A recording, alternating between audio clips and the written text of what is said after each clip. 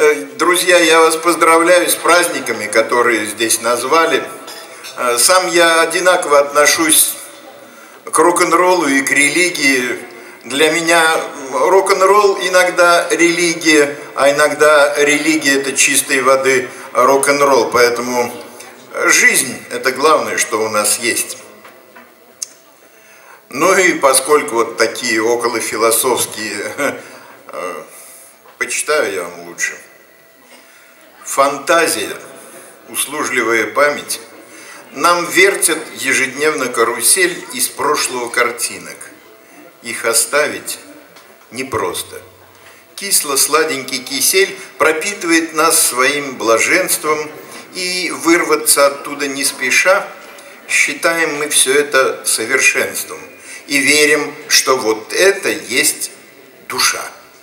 А может быть, пожалуй, как угодно, да полно вам, а почему бы нет? А, душа скорее там, где нам удобно хранить ее за давностью и лет. Чтоб ближе быть, когда она заноет, достать ее, погладить, помечтать. Альбом знакомый грудь свою раскроет, и снова будет что перебирать. Вчера еще, сегодня было завтра – я думаю, подобные слова придумал и сказал великий автор, в ком светлая душа и голова.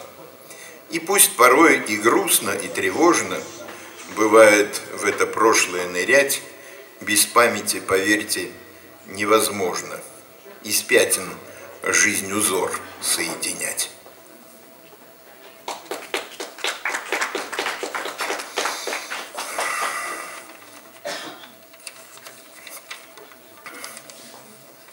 У меня один товарищ, с ним, пожалуй, не заваришь.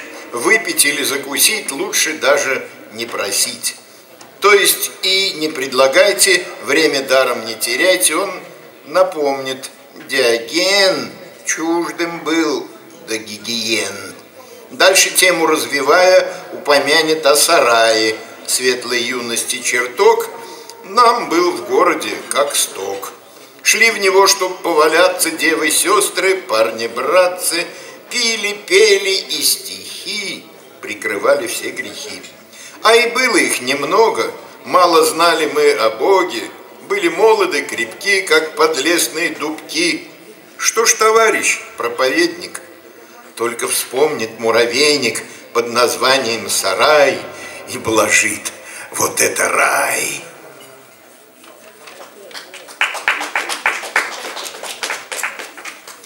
Ну, я хотел просто пару анекдотов рассказать. Перед первым прочитаю стихотворение «Чужой».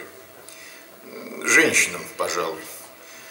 В этом храме тихое жужжание и блестящих ножниц торжество – это царство эльфов, чье призвание из волос составить волшебство.